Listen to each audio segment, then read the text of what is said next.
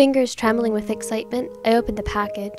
Just as I had hoped, it was the camera I won on eBay. With mild delight, I realized I received a better offer than I had realized because the previous owner left a memory card in the slot. Before sending an email to the seller alerting them of the mistake, I decided to see if anything was on it. Setting the camera on slideshow, I watched as the camera displayed a picture of his shipping label. My confusion turned to horror as the next image was of a person brutally murdered. The rest of the card was alternating pictures of a mailing address followed by a murder scene. The last image was of the shipping label from the box I just opened.